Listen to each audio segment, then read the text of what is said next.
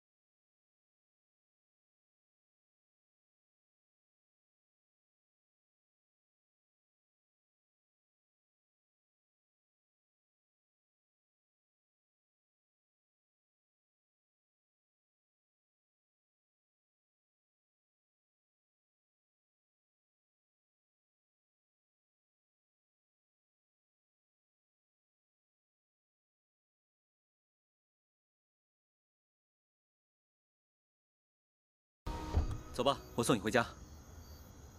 不用了。你有没有听说过这几天在你们公司旁边发生了好几起抢劫案？我不会这么倒霉吧？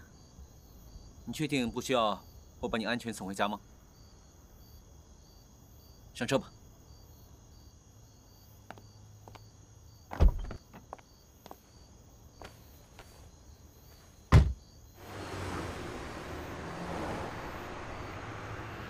干嘛带我来这里啊？我饿了。那你至少要征求一下我同意吧？如果我征求你的意见，你肯定不同意。所以说呢，我不想被人拒绝。吃吧。吃吧。好吃吗？好吃，很好吃。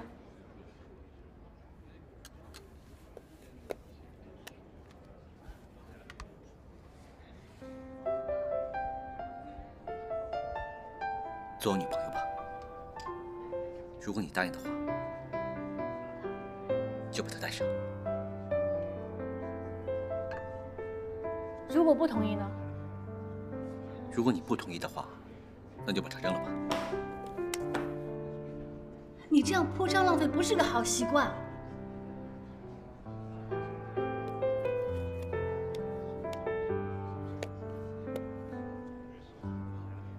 我只是想给你最好的，你呢，不用急着回答我，我可以等。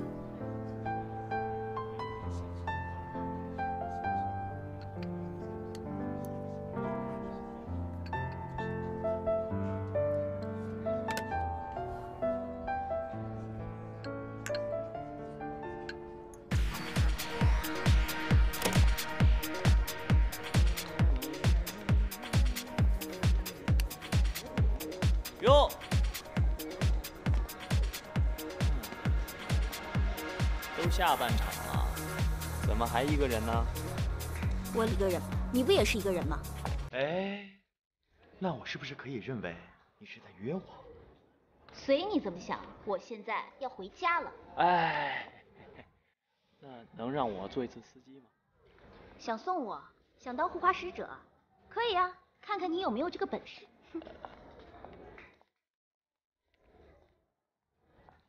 还玩欲擒故纵，有一套。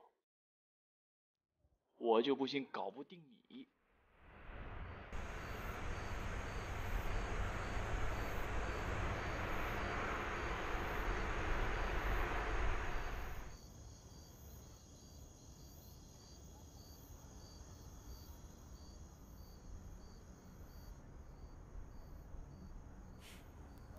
为什么我对你的感觉跟别的女孩不一样呢？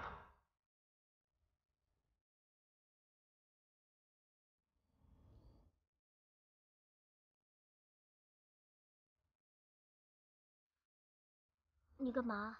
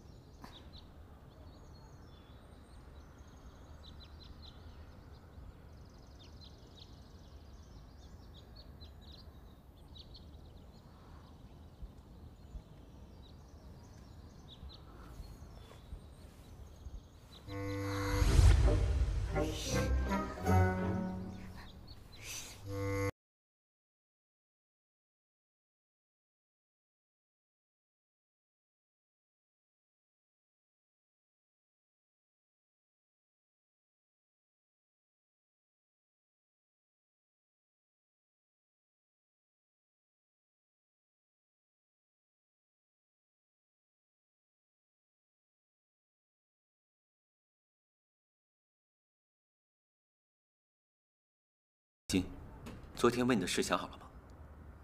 你什么时候给我答复？再给我一点时间。我相信一辈子的爱情，但是如果只有一个人努力，对方没有任何回应，这种感情继续下去没有任何意义。你没有第一时间拒绝我，至少说明我还是有机会的。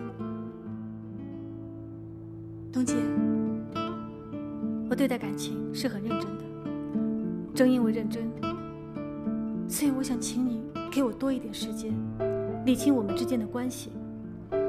因为你对我来说完全是个谜，所以我想了解你多一些。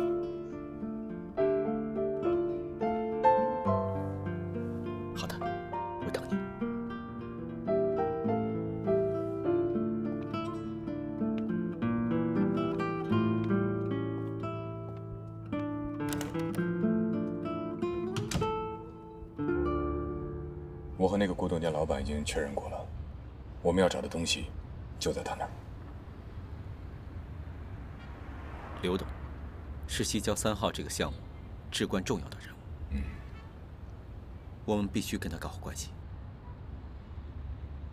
希望这个古棋盘能够敲开刘总的大门。我知道，西郊三号这个项目拿下来并不是那么简单。现在，飞腾集团又插上一手，我希望接下来这个事情不能有太多的变动。钱飞这样的对手确实令人讨厌，不按规矩出牌，为达目的不择手段，确实不能掉以轻心。所以，不管有多么的不容易，我们必须要拿下。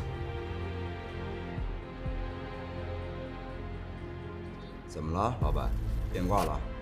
钱总，请稍等，还有一位老板要来。童总，你来了，请坐。童总，我们又见面了，两位老板认识啊？老朋友了。秦总，你真有雅兴，竟然在这里见到你。童总，既然我们是为了同一个目标来的，那就别客气了。老板，这个棋盘多少钱？出个价吧。本来是我朋友的东西，后来送给了我，既然老板们喜欢，一口价十万。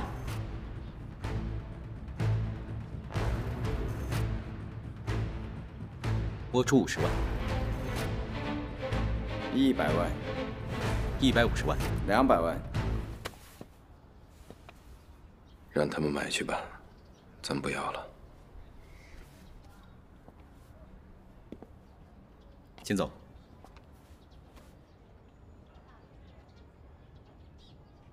童总怎么这么快就收手了？我这才刚热好身呢，还没起跑呢。童总，承让了。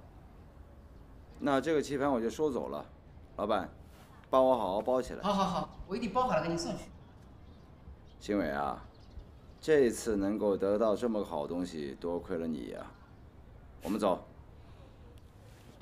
田总慢走。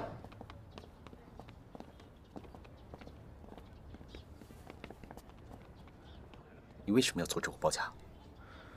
没有必要在这个物件上跟他硬碰硬。现在重要的不是一个棋盘，而是一局好棋。花两百万买个木盘子，也就钱飞能干这么愚蠢的事情。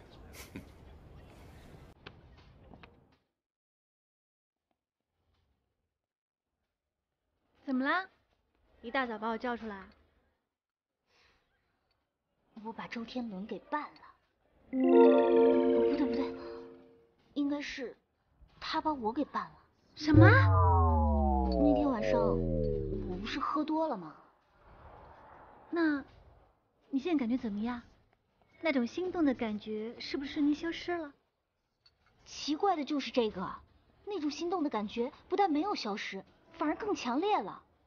你这次来真的？啊，我这一次算是马失前蹄了。你呀，总是不敢进一步去尝试，也许会有美好的事情发生呢。啊，行了行了，不说我了，说说你吧。我？我怎么啦？我最近都很少听你提到顾振宇了，你老实交代，是不是对那个童杰上心啦？哎，我真佩服你的想象力啊！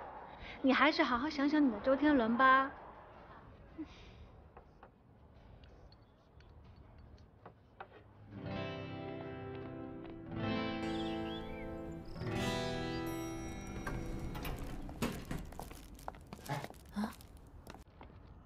哦，哎，不打声招呼就过来，这样好吗？我们这是长辈来看晚辈，哪儿那么多想法呀？走。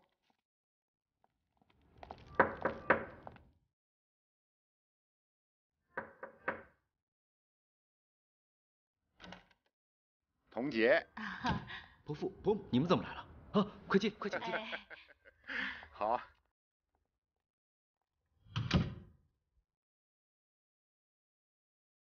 你们先喝点水啊。哎。我去打个电话。啊好。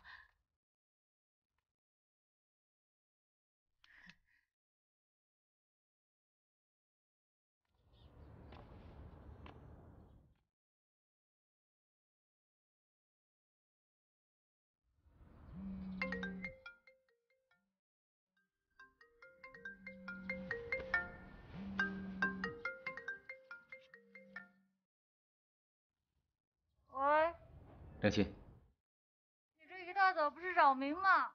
你赶快起床，你爸妈在我这儿。什么？嗯，这水真甜，好喝。爸妈，你们怎么来了呀？哎，你这话说的，我们不能来吗？你们怎么突然来了也不告诉我一下呀？哎呀，你就别插嘴了，是不是？我们今天呢，特地是来看童杰的啊。哎，童杰啊，我们今天呀找你呀，特别就是想跟你商量一下你和我们家小新的婚期的事儿。什么？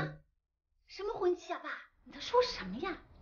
妈，你也不管管。别捣乱，听你爸说。伯父伯母，我会认真考虑这件事情。你看怎么样？你是不是等我跟良心商量好了，您给我们选一个好日子。毕竟，您是这方面的专家。你看我怎么说的啊，童杰啊，你别看我们家小新啊，咋咋呼呼的，他就是小事儿有主意，那碰到大事儿，他就没主张了。我看你呀，哎呀，又稳重又老成，特别好。这大事儿啊，由你来把控，我们就放心了。对。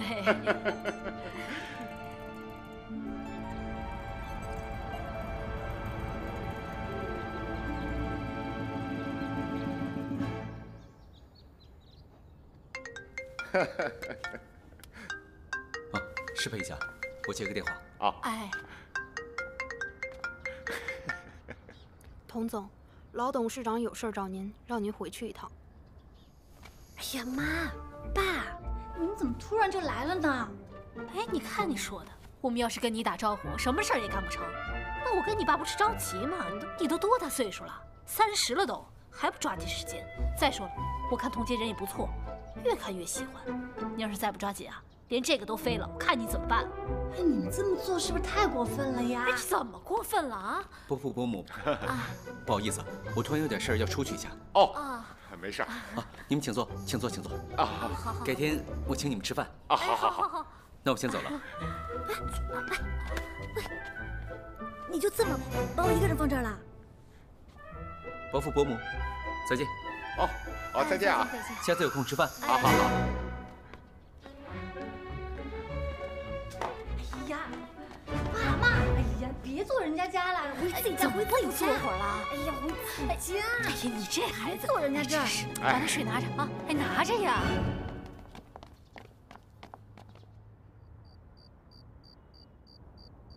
刚沏好的茶，尝尝。啊你这么着急找我来，到底有什么事？西郊这个项目，不是你想象中的这么顺利吧？如果你想顺利的话，大可找别人来坐我这个位子。这不是外国，外国人办事的方式，这儿是行不通的。更何况，西郊那块地呀，牵涉的太大。不单是资金的问题，任何一个环节出了纰漏，都全盘皆输。放弃吧，还是稳扎稳打，按照我们集团的发展的时间，那才是根本呐。现在市场竞争那么激烈，逆水行舟，不进则退。传统的房地产的优势和黄金时期已经过去了。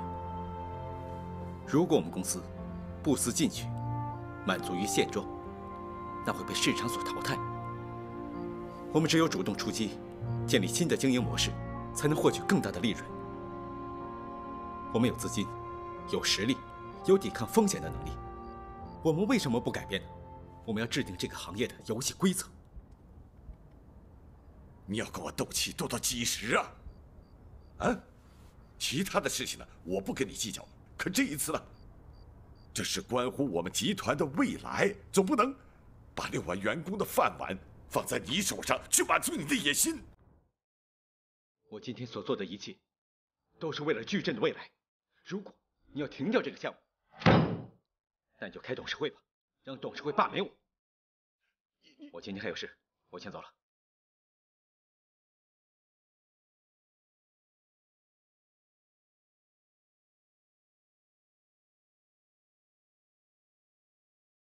哎，哥，怎么了？又跟爸吵架了？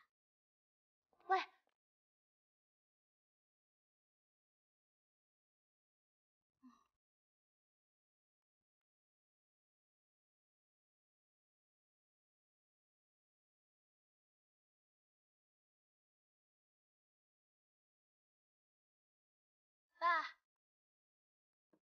嗯，怎么了？又跟哥不高兴了？生气了吧？还好，没被他气死。哎呀，你忘了医生怎么嘱咐你的了？千万不能动气，生气对你身体不好。你就是不听话。好了好了好了，哎，时候也不早了，早点回去吧。哎，你不是说要到画廊吗？不要待太久，省得呀周阳在家等你啊。周阳啊，他今天有应酬，我们都约好了，他去画廊接我，您就别担心了。好了，消消气，喝口茶。其实哥的压力也挺大的，你就体谅体谅他吧。嗯。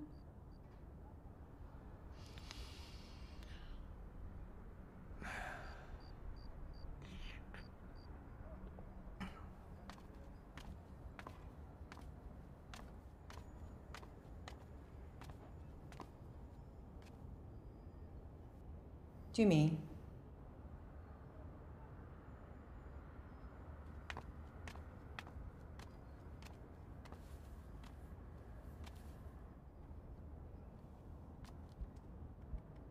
俊明啊，他好歹是你爸爸，他现在年纪大了，心脏不好，血压又高，他受不了刺激。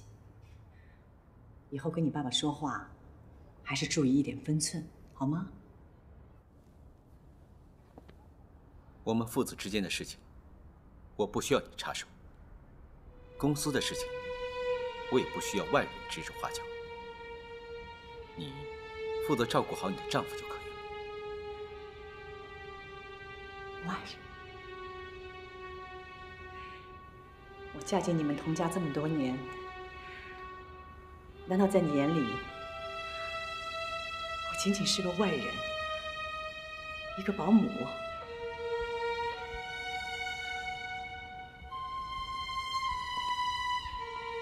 这是你自己对号入座。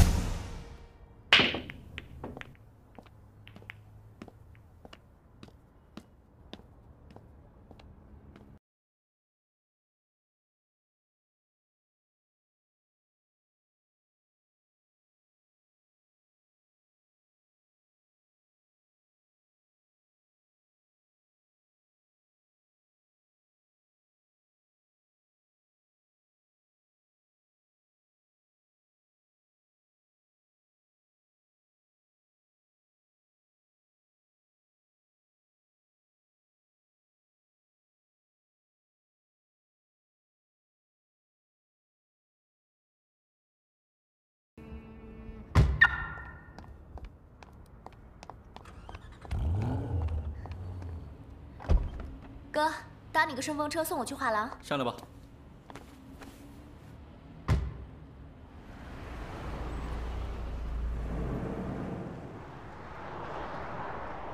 哥，爸现在年纪大了，你也老大不小了。你知道我在你们中间，看着你们老是吵架、开火，你知道觉得像什么吗？就像两个小男孩在很幼稚的吵架。你知道吗？我才没有那么无聊。我们都在谈公事。哥，你也知道，公司的事情我从来不过问，我也不管。可是，我只关心在意的人。你和爸都是我在这个世界上最亲的人，是我最关心、最在意的人。他太固执，脾气太差。你还说他？有其父必有其子，你跟他不还是对方的一面镜子，都是一个样子的。可是咱爸多大年纪了，怎么能改变得了他？能说服得了他吗？不可能。可你就不一样，你还是有药可救的，所以我决定拯救你，不让你再走他的老路。你怎么拯救我？哎，你觉得良心怎么样？怎么了？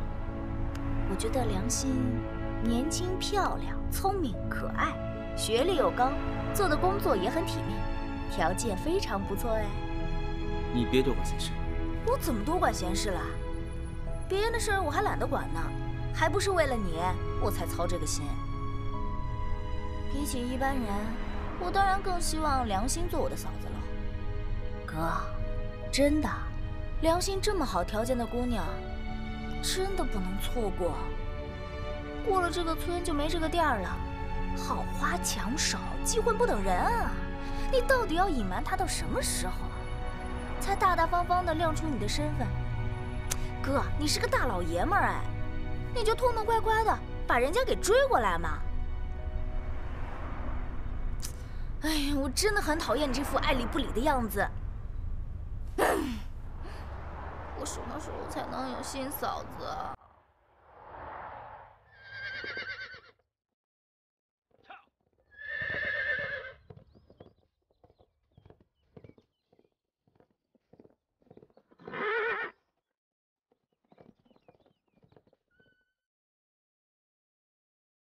刘董，你不仅仅棋艺高超，还喜欢骑马。随便玩玩，年纪大了，多运动运动啊，对身体好。童总，没事陪安娜出去骑骑马，年轻人嘛，多交流交流。哎呀，爸，你看今天天气这么好，你呀就多运动，多晒晒太阳，其他的少操心啊。哟，怎么害羞了？没有。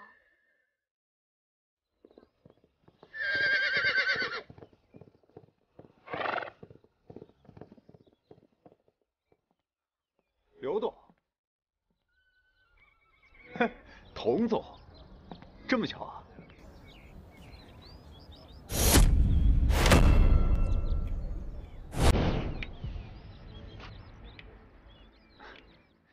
哟，怎么什么地方都可以看到你啊？安娜，陪童总出去骑骑马。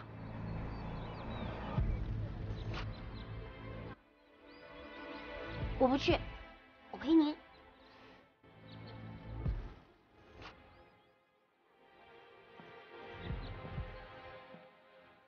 走吧，童总，聊聊。失陪一下。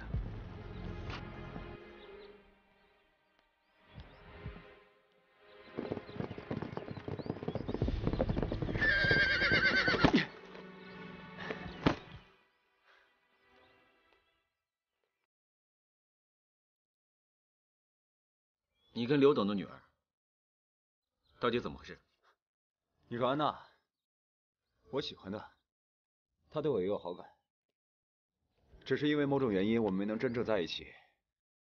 我们在美国的时候，我们就 你在美国的时候，你用卑鄙的手段抢走了田飞，你现在要对她负责，你有什么资格打我？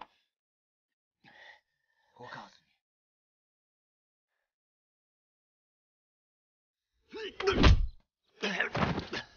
我这一拳十一年前就该打你了，给田飞打的。姓童的，多年前一句话没说，一个人就走了，舍下田飞，你是不是个男人？你是不是个男人啊？你为什么我爱的女人，你总在他们身边阴魂不散？我警告你，别打安家的主意！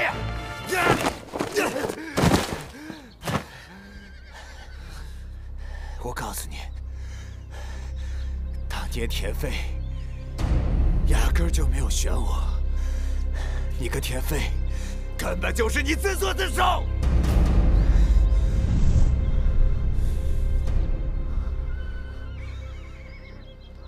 童总，你怎么了？我没事。童总。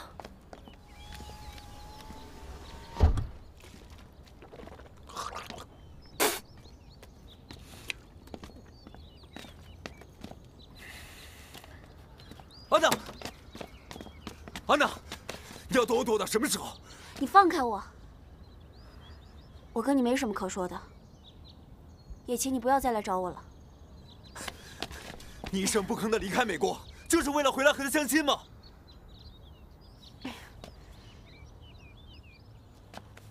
你怎么了？你怎么受伤了？你不会是跟童俊明打架了吧？我看，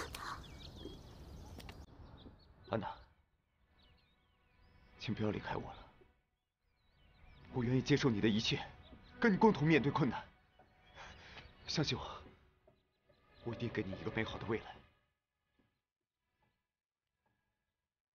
我说的每一句话，都是发自内心的。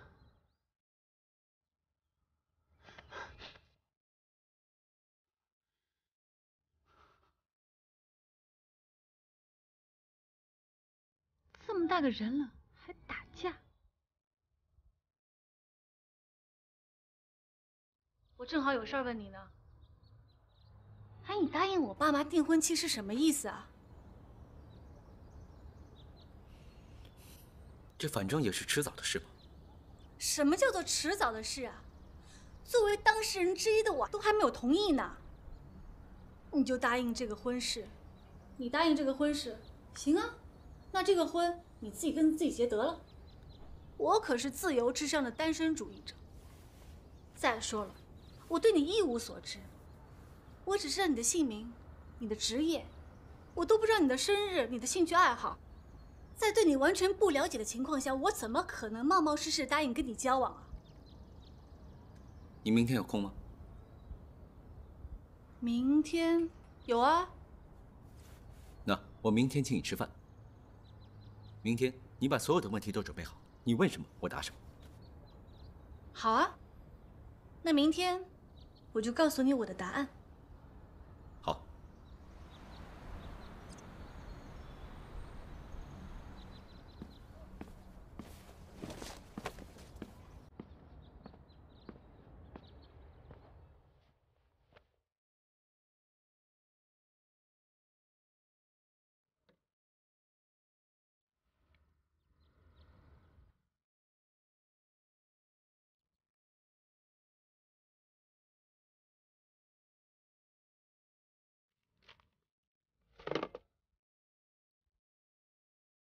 董总叫你上去。对呀。你一个人吗？啊。哦，知道了，你上去吧。那我走了，方市长。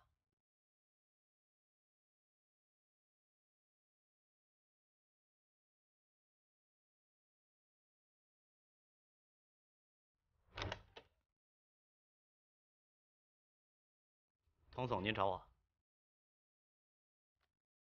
今天晚上。我要请人吃饭，晚上七点，订花园旋转餐厅。好，呃，您要请几位客人？一位。一位，那就定老位置。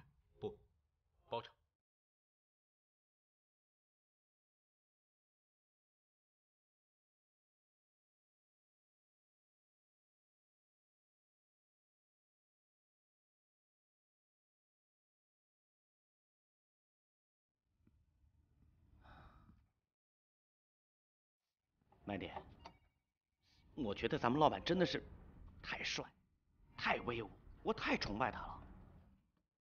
怎么怎么？快说！我刚从他那个办公室里出来，他叫我在花园旋转餐厅里面包场，只请一个客人。一个客人？对呀，太帅了。我没听说最近有什么重要的客人啊。是啊，我也没听说呀。难道是？难道是求婚？嘘！怎么了？你不怕方梅姐知道？哦，对对对对对。你没有听说过方梅姐、顾总和老板之间的事情啊？你想，万一求婚的人是方梅姐，那我们岂不是泄露了惊喜？还有，万一这求婚的人不是方梅姐呢？你看，哎呀，瞧我这猪脑子吧！对呀，要是凤梅姐知道了，肯定伤心死了。对呀，我想的太简单了。就是啊，不要说了，我们私底下说说就好了。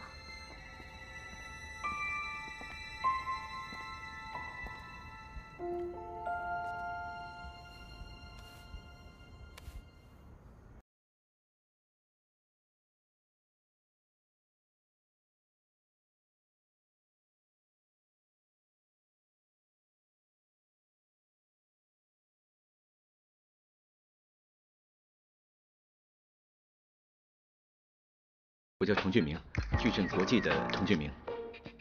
我是童俊明。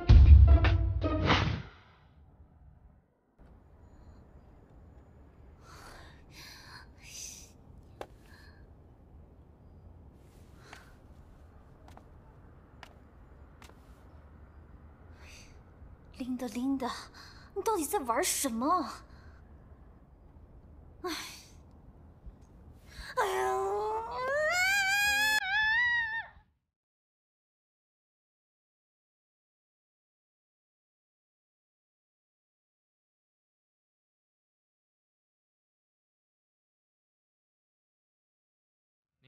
是梁小姐吗？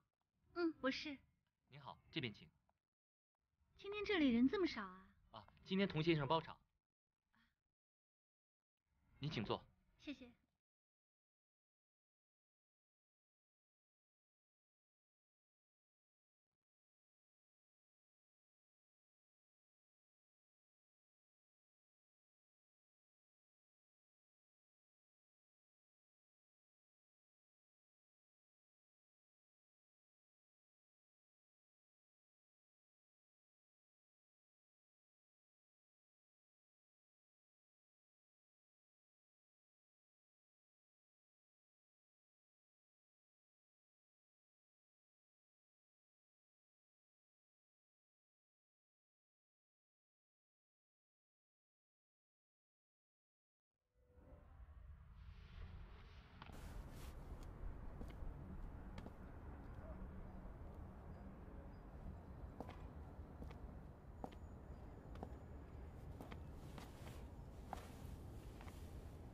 真没有想到你的钢琴弹得这么好。今天是什么特别的日子吗？今天是我的生日。真的啊？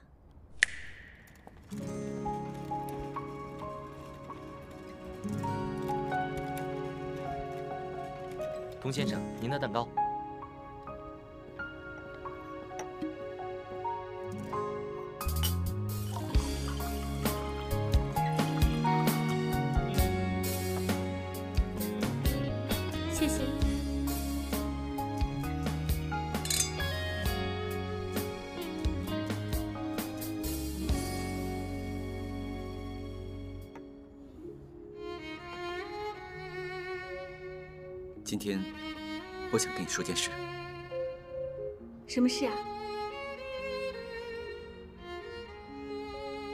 其实，我是……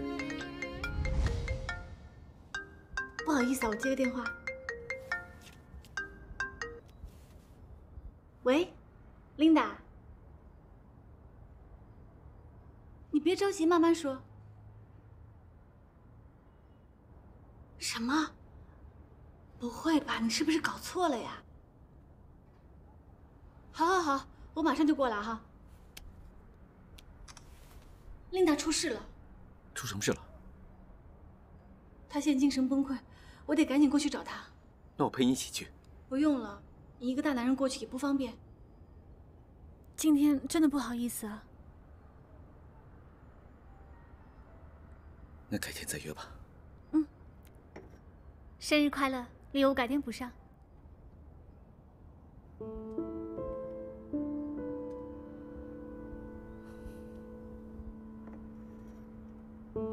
Happy birthday！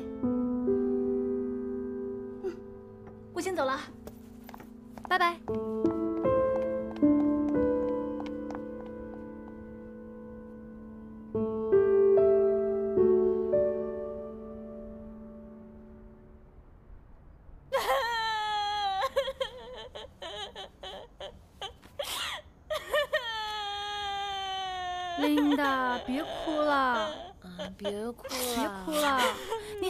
回忆一下，确定孩子是他的吗？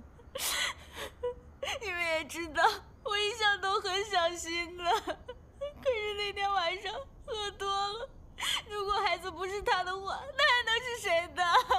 啊，你这是玩火自焚呐！你就别在这幸灾乐祸了，我现在该怎么办呀？哎，他未婚，你未嫁，赶紧把钻石王老五拿下！你以为我是你啊？我可是不婚主义者。那，你把孩子打掉吧，反正我怕你把他生出来以后会耽误他一辈子。你怎么知道我会耽误他一辈子啊？你还没看出来吗？我在你身上完全没有找到一丝的母性啊！你滚啊！别说了，你别刺激他了。Linda，你别哭了，你冷静一下，仔细想一想，你想要的到底是什么？嗯？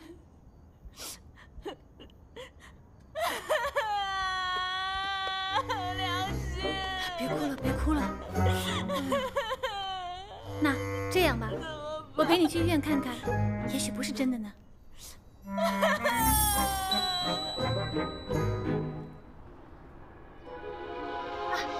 你怎么来看中医呀？